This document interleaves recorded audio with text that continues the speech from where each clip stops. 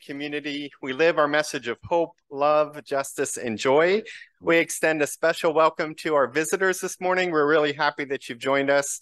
And if you haven't already, we encourage you to stop by the newcomer table after worship so that we can get you any information that you'd like about our congregation. We also invite you to our newcomer program, which is titled Exploring Our Faith. It's right after worship today at 1145 in the Murray Room. It lasts about an hour and it's a casual conversational introduction to our faith and congregation where all of your questions are very welcome. And if today doesn't work for you, the next one will be in January. Just keep an eye on your email for the exact date of that event. Happenings in the back of your order of service has many announcements about our upcoming events and activities, including that next Sunday, November 26th, after the service, we invite you to join me in the promotions committee for our first elevator speech workshop open to the congregation. You can come and develop your own short and sweet description of our faith through fun and lighthearted exercises and discussions. There'll be an e-blast coming out about that soon, and we do need you to please sign up for that event after worship next Sunday. And lastly, not in happenings, but huge news is that we now have land for our green burial site. Yes, we'll do it. This was a, a couple years ago now that our members voted to accept a major designated gift to create a natural burial location close to home and a great focused and very resilient team has been looking for the right spot ever since and they found it. It's in hopewell. The land is undeveloped former farmland that we can convert into a natural burial location and that is the substantial work that is before the group now. They'll have a table in robinson after worship so you can ask questions and learn more. And we are scheduling an informational q&a program with that group right now. We should have that on the calendar pretty soon. Uh, it'll be in december. We're just not sure exactly when. But for now, thank you so much to our Green Burial team for their work in this really exciting development and much, much, much more is to come. So stay tuned. And now, friends, holding hope, practicing peace, and building beloved community, come, let us worship together.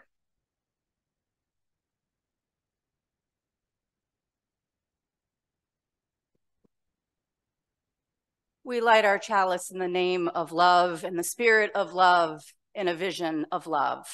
For love is at the center of our Unitarian Universalist faith, a love that is affirming of all, a love we strive to be reminded of in times of fear, hurt, and destruction, a love that through our actions is powerful enough to overcome hatred and cruelty, a love beyond belief, a love that believes in us.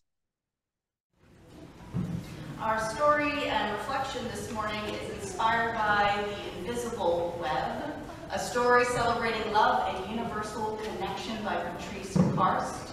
It's written in your order of service if you too are inspired by it and might like to get a copy for yourself. The very best news ever has begun to spread all over the world, one heart at a time Shout it from the mountaintops. Every single one of us is connected to those we love by invisible strings. That means Giovanna and her daddy are always together, even though he moved to another house. That Omar can feel the tugs of love from his parents, even though he is living far away at school. Mr. Chang still feels Mrs. Chang close by even though she died a long time ago. And you, and you, at this very moment, may feel the string of someone close to you, even though they aren't there. You can't see it, but it's real. I wonder. I wonder who might the people be that you are thinking about? whose string of someone close to you, or maybe strings of a few people that are close to you, might you make real in this moment? I invite you to take a moment to invite those close to you in. Imagine them next to you, held in love, held in love by you, held in love by those in this beloved community. I wonder who you may be thinking of. Excuse me. I wonder who may be thinking of you in this moment, feeling your string tug their hearts, who are holding you in love.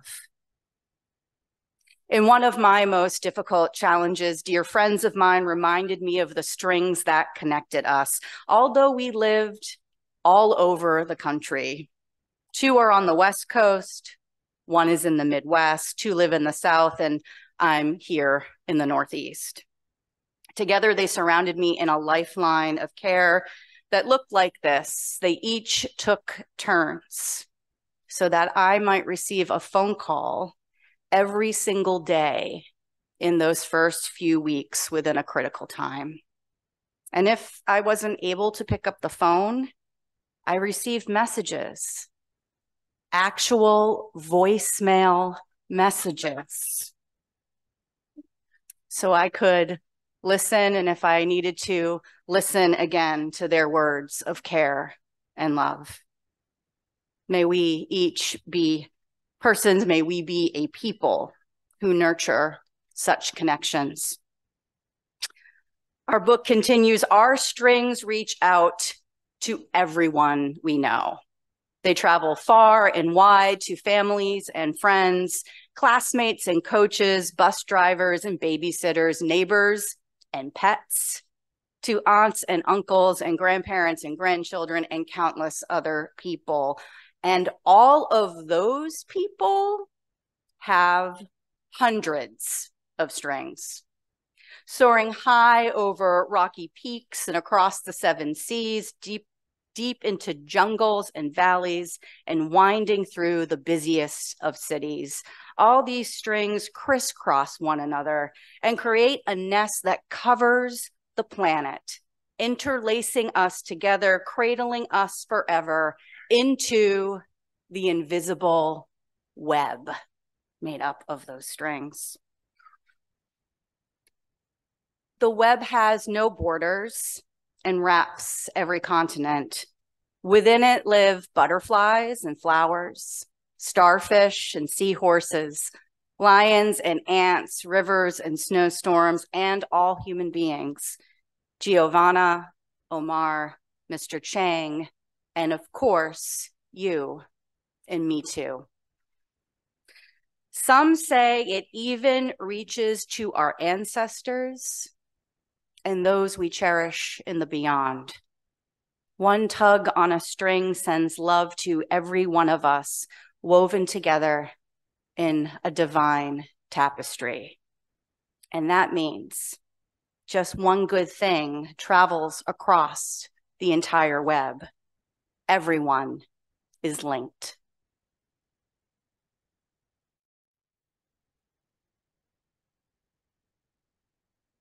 And our story continues with the, the web and thread imagery. But sometimes people forget when they can't feel their strings, they forget about our invisible web. And that's when strings get tangled up, like when lonely Louisa isn't invited to sit with anyone at her school in lunchtime or when sad Stefano wishes his friend Marcos wasn't so bossy when they played, or when Mrs. Patel struggles at work without help and she just wants to quit. Even violence and war can erupt when too many of us forget the web. When strings are ignored, they can become weak and begin to unravel. But the more people who care for the web, the stronger it remains.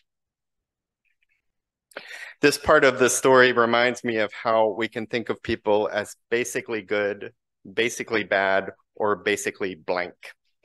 For some, belief and theology starts there, and a lot of theology starts with people are basically bad, original sin and everything that comes out of that. People are awful. And how much that awfulness is accented becomes a marker of how conservative, moderate, or liberal a faith is liberal faiths tend to be more optimistic about human nature, conservatives less so, though my conservative friends say they're not really less optimistic, just more realistic about human nature. And some days, locally and globally, it's hard to argue that. But we are optimistic in our faith, teaching instead that all start off basically good, not bad and not blank, but sparked by the divine, even though being inherently good doesn't mean we always choose the good. We're good, but don't always act like it.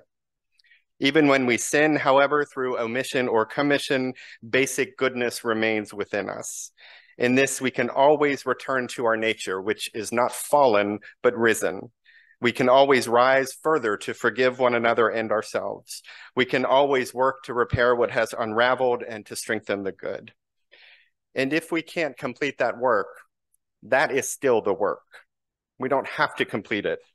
We just have to do it. And that at least stops or slows the tangling so that the web, so that others can help strengthen the web too. And at least we're working for the good, even if we can't assure its complete arrival during our lives. The author says all this starts when we lose a sense of feeling the threads that connect us. I think she means when we are too wrapped up in ourselves and our own lives to notice how much influence we have over the lives around us, how much we impact neighbor and stranger. For when we are more connected, we know that goodness is not something just innate within. It's also something that is shared and built from person to person. The smile, the compliment, the door held open, all goodnesses within shared that frames another person's moments to come. The essential everyday kindnesses that make life pleasant and some moments sweet. The author is talking about the other stuff, though sitting alone at lunch, being bossed, not having help at work, war, and violence. But she concludes this section by reminding us that there are always people who care for the web. She reminds me of the in this of Mr. Rogers' famous teaching to children, but really to everyone, that in times of crisis and tragedy, we should always look for the helpers. We should look for those trying to help people out of danger and misery. For therein lies not only our hope, but also our call, our direction, our absolute command to love one another. That's what the helpers do. They strengthen the threads, they ravel what has frayed, they weave new threads into the fabric so that it is stronger for those to come. And in all of this, we feel hope. The author starts this part by saying that when we don't feel the thread, things fall apart. So we must remember the threads and feel them and know our connections to one another by actively being with our neighbors and strangers, by getting up and getting out and building in real life communities of goodness and service and support. Our congregation is part of how we feel the threads that connect us a tapestry woven by those before us for whom we are grateful, cared for by us with whom we serve and grow, and to be left to those to come, whom we pray it will warm and inspire and welcome. And it is in feeling these connections that we animate the good within, that we feel it, and that we grow it amongst one another so that we build a better world. And now, to help us feel those connections, our coming of age class, led by Reverend Carol Haig and Kirsten Shearer, our coming of agers are Ryan, Ian, Rachel, and Nicole. Are there any others, Carol? Is that good? I think that's who we have. Ryan, Ian, Rachel, and Nicole are going to help spread yarn, literally, all over Channing, each of us holding a little piece of it so that we'll know that we are connected. And we hope that this feeling will stay with us and lead us to the good in one another again and again. As they spread this yarn out, now, we do big things here at UU Princeton. We only do big things. This yarn thing is going to be one of them. We're going to get this yarn to every person. And as we do it, we're going to sing Come, Come, Whoever We Are. Margie and the choir will lead us. The yarn will continue making its way through the congregation so that by the end of the offering, I think we'll all connected there. And now we turn to our offering. As we do so, we are so pleased to welcome Sharik Marshall this morning. Sharik is the Development and Community Engagement Coordinator for Arm in Arm in Mercer County, an exceptional organization that helps local people with food, shelter, and employment. We are so grateful for Arm in Arm service to neighbor and stranger.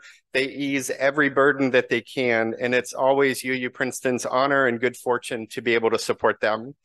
We're doing that this morning with our food drive, which we'll do in a little while. We do it all year long by collecting food and in several other ways as well. And we're grateful to be able to follow to follow their lead in helping people who really need it. Sharik has a few words for us this morning. Let's welcome Sharik up to the pulpit.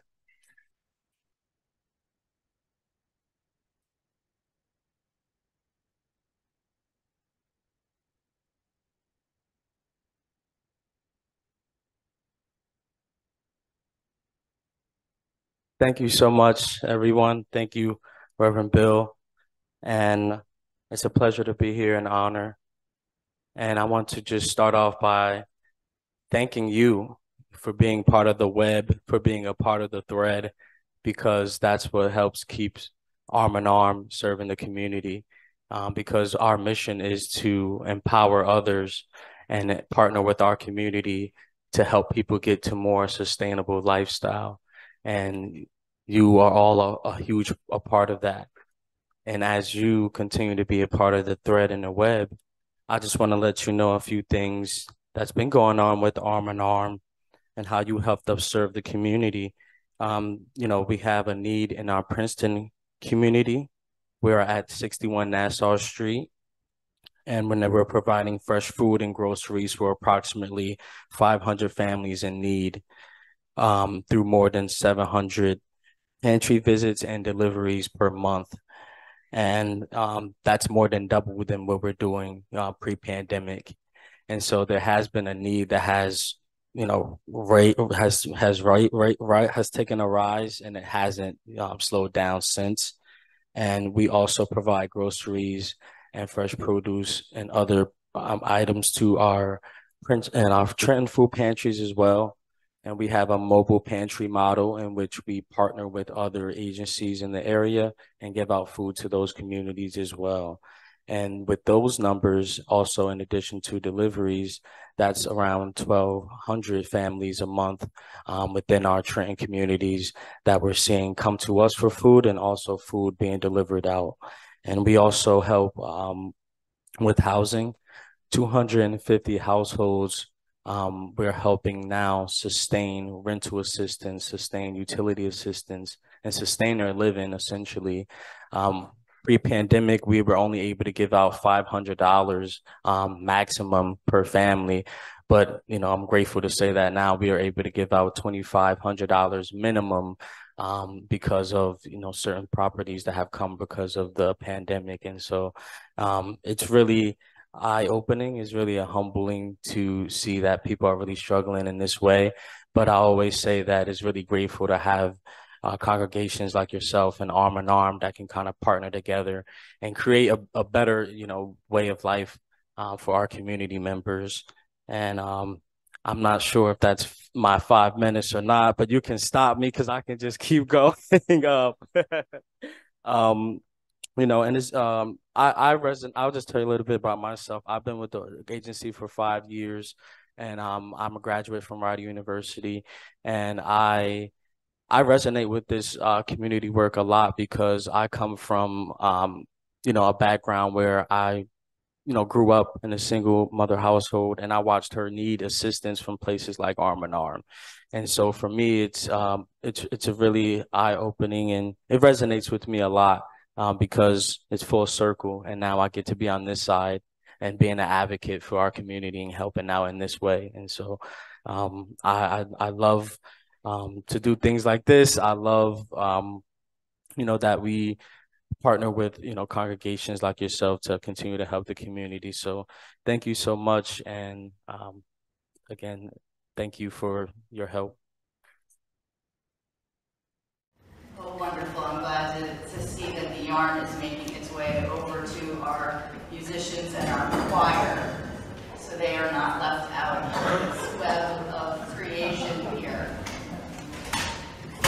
Yeah, sometimes the web trips us up a little bit.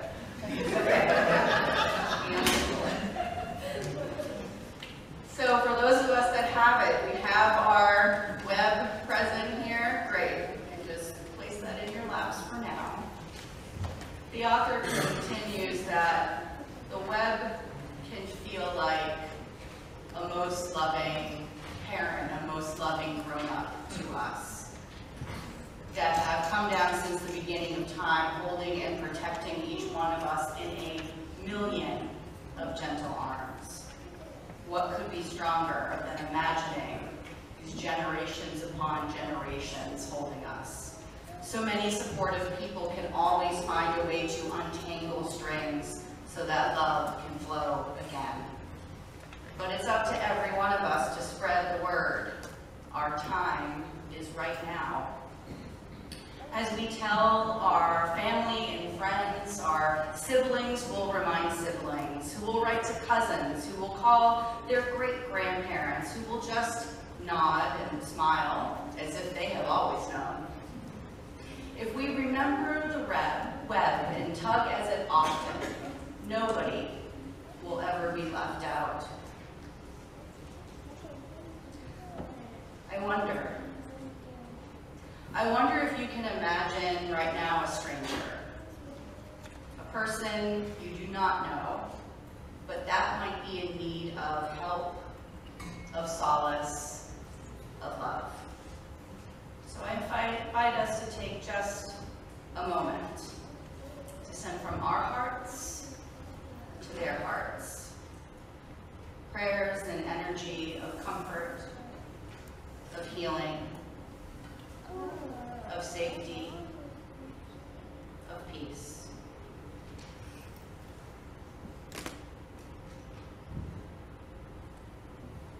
If we remember the web and tug at it often, nobody will ever be left out. We will see others more clearly. The people of the world will look into each other's eyes. They will smile at one another. And when one of them cries, they will all want to help. And they do. Marcos apologizes to Stefano, who forgives his friend, and they have even that much more fun playing. Someone helps Mrs. Patel at work and tells her what a great job she's doing. And she remembers that she feels important, and that makes her happy.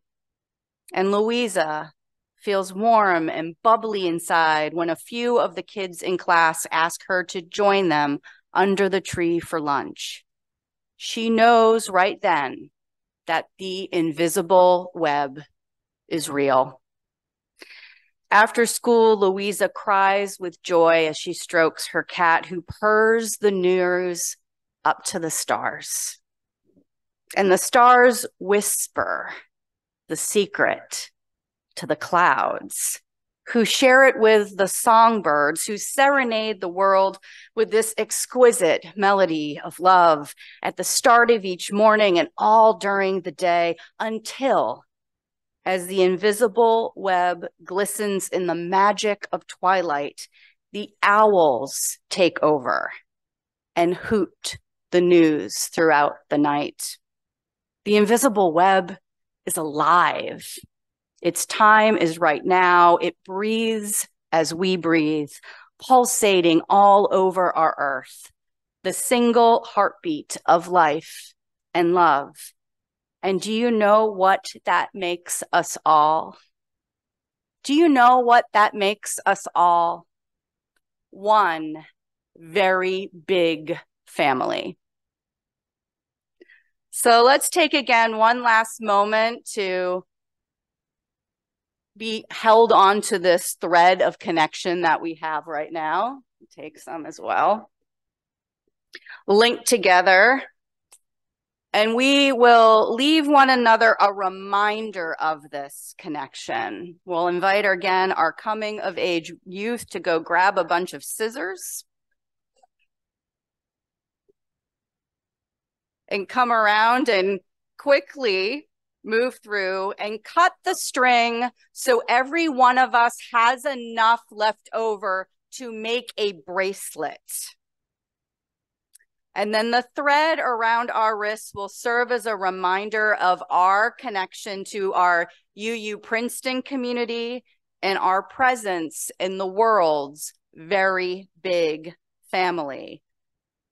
Our coming of agers, please don't forget to take some of this string for yourself as you are part of this interconnected web, both of our congregation and of the universe. So I want to thank our coming up for helping out this morning. Um, I think they've done a pretty good job. Uh, yes.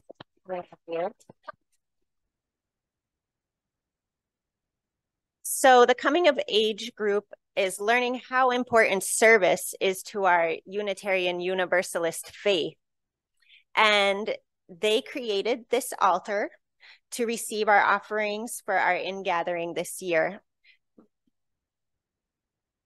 As you bring your contributions of food down the center aisle, notice the cornucopia and the delightful critter. I think it's a I think it's a bird.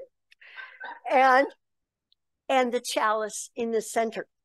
So do appreciate the chalice, the symbol of our faith, and watch carefully for the symbols in green hat, bow, and arrow of Robin Hood, who made sure that the poor were fed. And you may start. We will now bless our offering with words by our seminarian, Pauline Nijander. Pauline is preaching elsewhere this morning, uh, but she sent in a blessing for us to use. We're grateful for that. So these are Pauline's words. Blessed Earth Mother, we are grateful for the bountiful harvest before us that has been given freely and with love and concern for those who are in need. We are grateful, Earth Mother, for your giving so freely of yourself to help us and sustain us. May we continue to follow in your example by helping to give freely of ourselves to help those in need. We ask you to bless this food. May this food provide its recipients and their families with nourishment and strength, a nourishment and strength only you can provide. We humbly ask that you continue to bless us with a bountiful harvest each year, and may that blessing of a bountiful harvest expand to include all those in need. May we all, as the local community, residents of a state located in a nation within our global community, continue to follow your example by continuing to give freely to those in need, so that one day all may have their fill and then some. May it be so, and amen. After our service, we can use many helping hands and loving hearts to sort these donations and the many, many more that are out there by Founders Room that Arm in Arm will pick up for use in their mobile food pantry. We'll sort the food into categories, then make specific holiday bags together. You can come join the fun and bustle today. We hope to be finished by one, but it's a many hands make light work thing. So the more people, the better. Just meet over in Founders Room, which is where we have brunch some Sundays, kind of on that end of the building. Louise Senior, who's in the front sitting by Sharik will be able to help you. Thank you again for your generosity. It's wonderful to be able to do this. And at the end of our hour, we extinguish our chalice, knowing that its light stays with us until we gather again. Go forth grateful for the moments before you, the breath within you, the people among you, and the Spirit guiding you toward lives of love and kindness. And go forth knowing that you are held always and always with everyone else by that great love of no beginning and never ending. Go in peace and amen.